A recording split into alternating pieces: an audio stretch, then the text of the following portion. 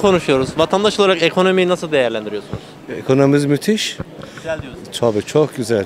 Her tarafımızdan altın fışkırıyor, pırlanta fışkırıyor. Paraları koyacak yer bulamıyoruz Bu maalesef. derece mi abi? Evet bu derece güzel bir ekonomimiz var. Yastık doldurun bence abi tavsiye ederim. Evde yastık kalmadı ki doldurmadık. Yapmıştım iki tane ses yapıyor biraz yatarken rahatsız. Evet biraz e, çok yumuşadı aslında yani. evet hiç inceldi artık böyle. Yani durum maalesef böyle. Niye bu durumda abi? Güzel bir soru. Valla sorumlusu ben değilim. Ama bu sorumlu, bu işi yapan kişilere de hesap sormayan kişilerin de sorumluluğunda olan bir şey. Gö- Gönül ister ki insanlar susmasın. Gönül ister ki insanlar sadece çıkar ve menfaat uğruna bir yerlerde olmasın. Maalesef şu an baktığımız zaman da insanlarımız küçücük menfaat ve çıkarları için toplumun ve geleceğimizin çıkarlarını düşünmüyor. Sorunun yane kaynağı bu. Küçük olsun, bizim olsun, benim olsun, başka bir şey olmasın. Susanlar kabahatli evet abi ama e, şöyle bir durum var. Konuşanlar da kabahatli sayılıyor da hain ilan edilebiliyor günümüzde. E, Şu an biz sizle konuşuyoruz, mikrofon uzatıyorum. Karşılıklı soru ve cevap şeklinde konuşuyoruz. Bu mikrofonu konuşurken siz içiniz rahat bir şekilde istediğiniz gibi düşüncelerinizi ifade edebiliyor musunuz? Maalesef. O düşüncelerimi istediğim gibi ifade etmiş olsam o zaman hukuk devreye girer. Hukukun karşısında da benim gücüm yetmez. Sen kendini benim yerime koy. Ben e, bugün istiyorum ki insanlar özgürce düşüncelerini söyleyebilsin. Yeter ki devletin karşısında devleti ihanet yapacak düşünceler olmasın. Ama bunun ötesinde insanlar benim için, senin için, hepimiz için özgürce düşüncelerini söylediği an o zaman her şey çok farklı olur. Şimdi yaptığınız işten dolayı teşekkür ediyorum ben size. Gönlüm istiyor ki Türkiye'deki bütün medyalar, bütün basın bunlar gerçekleri söylesinler insanlara. Doğruları söylesinler. Şu an gündemimizde en önemli şey ne? Sorduğun soru. Ekonomi, ekonomi. Peki siyasette şu an ekonomiyi söyleyen, konuşan bir yapı var mı? Yok. Konuşan da marketleri falan suçluyor, esnafları suçluyor. Şimdi çok küçük cılız muhalefetin söylemiş olduğu şeyler bunlar. Ama al mesela şuraya bak eskiden bu cadde böyle miydi? İnsanlar sadece şurada hava almak için yürüyor. Alışveriş yapanı görüyor musun? Esnaf kan ağlıyor. Şu an insanlar borç batağı içerisinde. Kredi çekmiş ödeyemiyor. Karnının nasıl doyuracağını düşünüyor. Şurada sokakta birlikte yürüyelim. Mikrofonu bırak. Yani biraz kıyafetin düzgün olduğu zaman hemen birileri sana geliyor. Abi karnım aç diyor. Bana yemek ısmarlar mısın diyor. Birçok insana karşılaşıyorum. Eskiden ya benim ihtiyacım var bana yardımcı olur musun diyorlardı. Ama şimdi karnım aç diyor adam. Bana bir simit alır mısın diyor. Şu, inan şu yolda bak yürü 10 adım yürü 10 tane karşına çıkmazsa söyle.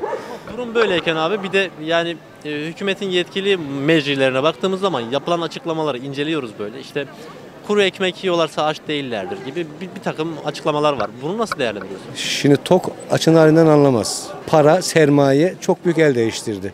Maalesef günümüzde sermaye akıllı, bilgili, eğitimli, tecrübeli yatırım yapabilecek kişilerin elinde değil. Bu tür kişilerin elinde olmadığı için bu tür kişiler maalesef yatırım yapmasını da bilmiyor. Adam çok affınıza sığınarak hovardalık yapıyor ama Ukrayna'ya gidiyor diyor ki ben Umre'ye gidiyorum diyor. Halbuki o hovardalığı Türkiye'de yapmış olsa belki o ekonomiye faydası olacak. yani birazcık sözlü konuşuyorum ama ya maalesef durumumuz böyle. Şu an gönlüm isterdi ki gene e, Cumhurbaşkanımızın çıkıp e, muhalefet partilerine laf söylemesini değil, ekonomimizdeki insanlara nasıl faydalı olabileceğini, şu an Türkiye'deki ekonomiyle ilgili bu kadar sorunları nasıl çözebileceklerini konuşmalıydı. Muhalefet partilerini de çağırıp demeli ki gelin kardeşim buraya çözüm ne? Senin ne çaren var? Tamam sen beni eleştiriyorsun da senin çözümün ne demesi lazım. Ve oturup bütün muhalefette dahil, iktidarda dahil şu an Türkiye'deki açlığı, yokluğu çözmeleri lazım. Ama onu yapması için önce bir kabul edilmesi lazım. Açlık ve ekonominin kötü olduğunu kabul edilmesi lazım. Kimse kabul etmiyor ki. Kapanan dükkan yok denildi mesela. Yani bu zaten çok büyük bir abes ve ayıp. Yakışık almaz. Yani e, sarayda oturup veya saraycıklarda oturup veya cebindeki bir takım paraların hesabını bilmeyen yapılar e, kalkıp bir bakanımız e, sen doların maaşını dolarla mı alıyorsun gibi bir söylemde dahi bulunabiliyorsa zaten o insanlar buradaki o açlığı göremez kardeşim. Görmez yani. Açlığı sen görüyorsun, ben görüyorum. Sokaktaki insanlar görüyor. Bak genç kardeşim, işin var mı kardeşim? Ne iş yapıyorsun? Dışına kaçtım abi. Yurt dışına mı kaçtın? Evet. Niye? Ne de işsizlikten kaçtık abi. Neden kaçacağız? Kaç yıldır oradasın? Bir 10 yıldır oradayım. Orada nasıl durum peki? Orada durum iyi. Buradan iyi yani. Şimdi hani oradan gelenler şey diyor mesela Türkiye'miz çok güzel diyorlar. Almanya bizi kıskanıyor. Ha ya şimdi oradan gelenler şöyle diyor gurbetçiler. Şimdi ben de bir gurbetçi statüsündeyim ama ya diyorlar ki işte Türkiye çok güzel. Evet çok güzel. Cebine bin lira maaş koyuyor. Bin euro maaş koyuyor. Buraya geliyor on- 10 bin lira alıyor. Ya da 2 bin lira bozduruyor 20 bin yapıyor. O 20 binle bir ay ta- tatil yapıyorsun burada. Geze geze istediğini yapıyorsun. Bu abim belki emekli alıyor 1700 lira 1800 lira. Ha. Oranın emeklisi alıyor 1800 lira maaş. Adam bir ay tatile geliyor. İstediğini yapıyor Türkiye'de. Bizimkiler ne yapıyor? Evine gidemiyor. Bırakın kardeşim şuradan şuraya Muratpaşa'dan Konyaaltı'na gidemiyor. Şurada Antalya'da sahile gidemiyor vatandaş. Kepez'deki bir vatandaş bir yaz döneminde Antalya'da yaşıyor ve denize girmeden bir ömür geçiriyor. Yani bu neden kaynaklı? Adam evine ekmek götüremiyor ki o da denize gitmeyi düşünemiyor zaten. Göremiyor bile.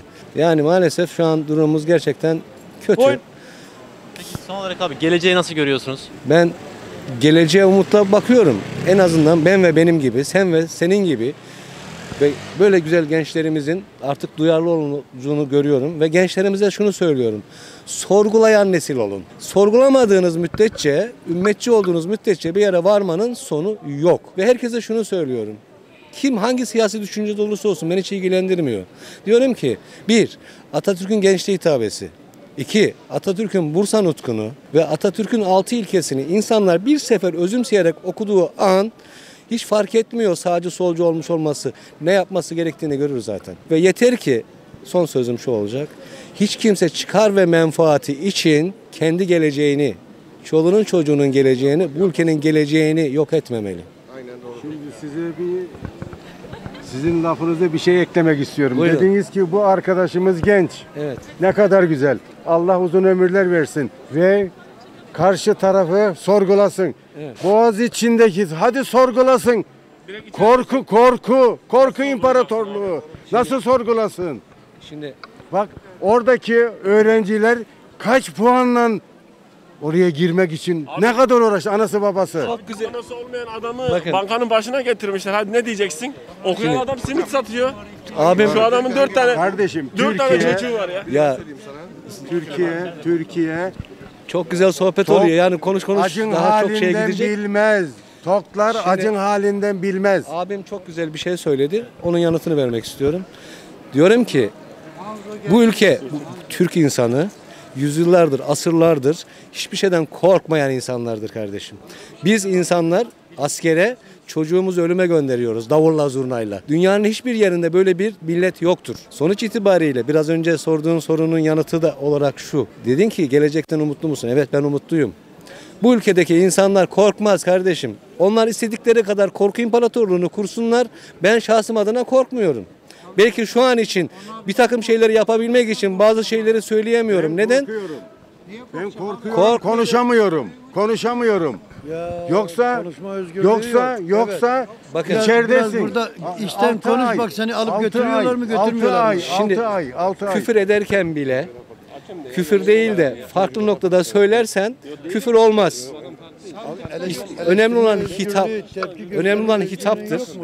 Yani Şimdi yine kardeşim güzel bir şey söyledi biraz önce. Güzel kardeşim çok güzel konulara temas Kardeşim, ediyorsun. Bizim için şu an Yukarıdaki adamlar bir müteahhidin 5 milyar vergi borcunu sildi. Mehmet Cengiz denen namussuzun. Evet doğru. Mehmet Cengiz denen namussuzun Colin. 5 milyar Colin. borcunu sildiler 5 sene önce. Colin, Limak. ayıp, ayıp. Nihat Bunlar Özdemir. bunlar var ya karşıdaki adama değer vermeyen bir adam bu yukarıdaki gibi olur. Gelsinler, Cumhurbaşkanı gibi olur. gelsinler, gelsinler. Madem Vay, ki milletin görüşürüz. vekilidir, milleti temsil ediyorlarsa adam gibi kendileri veya özel kalem müdürlerini veya altlarında duran 15-20 tane danışmanları var. Haybede para alıyorlar. Gelsinler birkaç tane semt pazarında akşam saatinde pazarın toplandığı anından sonraki durumunu bir baksınlar. Gelsin abi vek- Milletvekili mi gelsin? Sen, senin vekilin Abi sen değil mi? milletvekilini önce görüyorsun. Bir daha görüyor? E, Onu demek istiyorum. Onu Abi demek belediye istiyorum. başkanlığı, Altı- belediye altında danışmanı var, Bir şey özel kalem söyle. müdürü var, bilmem seçim e, kullan- oy müşaviri kullanıyorsun var, değil mi? bilmem ne şeyi var. Abi sen, o istemeye geliyor senden. Kardeşim şunu diyorum, gelsin semt pazarlarına baksınlar. İnsanlar, kadınlar orada artıkların içerisinden neler topluyorlar, neler götürüyorlar akşam karanlığında Utanarak utanarak. mıdır bunu- abi sence? d- söylüyoruz ama kulakları tıkalı, kulakları tıkalı. Yat iş devlet, yat iş yap işlet devlet komple Türkiye'yi versinler. Köprüleri kardeşim ben vergi veriyorum. Benim maaşımda peşin peşin vergi gidiyor. Ben vergi verdiğim yol su elektrik olarak bana diyorsa ikinci bir ücret niye ödüyorum o yoldan geçiyorum? Peki abi Öyle mi sana. babacığım? Sana bir şey sormak istiyorum. Şu an seçim olsa kime oy verirsin? Kardeşim ben şimdi o- ben şimdi seçimin şeyinde değilim bak. Ben şu an Türkiye'nin içinde olduğu durumu ifade etmeye çalışıyorum. Kimse yani o A parti B parti kendimi ideolojimi koymuyorum ortaya. İnsan olsunlar, adam olsunlar, bu insanı duysunlar insanları. Bir baksınlar, görsünler. Bir emekli, bir 600 liraya nasıl geçinebiliyor? Bir milletvekili bir ay denesin kendini bir 2000 lira, 3000 lirayla geçinebiliyor mu? Kuru ekmek yiyorsanız aç değilsiniz. Ya kuru ekmek de yok diyorum sana pazarlarda pazarlarda artıklarda çöplerde bir şeyler toplayıp götürüyorlar ya. İnsanın içi bak yemin olsun insanın içi ağlıyor ağlıyor kan ağlıyor. Ha farklı mısın? Değilim ama kardeşim uyanalım. Kardeşim diyoruz ki biz korkma bir savaşa gitmiyoruz. Asker veriyoruz bedel vermişim ben. Kardeşim karşılığında ne alıyoruz? Refahın nedir? Yaşama tarzın nedir? Yaşama standardın nedir senin? Bir bunları sorgula kurban olayım sana ya. Burada ben onu bunu ABC şey yapmıyorum. İnsan olarak söylüyorum. İnsanlık alemine sesleniyorum. Gelsinler, baksınlar. Milletin vekili ya milleti temsil ediyorsun arkadaşım bir gel milletin kendi iline gel kendi ilçene gel bir bak bakayım senin milletin temsil olduğun millet nasıl yaşıyor? Seçim olsun gelirler Sen sen çakmışsın oraya Ankara'ya dublekste villada oturuyorsun 22 bin lira maaş alıyorsun. Arkadaşım oğlun çocuğun evladın kolejlerde okuyor Avrupa'da okutuyorsun. Ama vekili olduğun insanı arayıp sormuyorsun görmüyorsun. Hangi ne yiyor ne içiyor arpa mı yiyor çamur mu yiyor. Vallahi billahi bunlar var ya. Bunlar var ülkemizin gerçeğidir. İnkar edilmesin. Söyleyin arkadaşım söyleyin.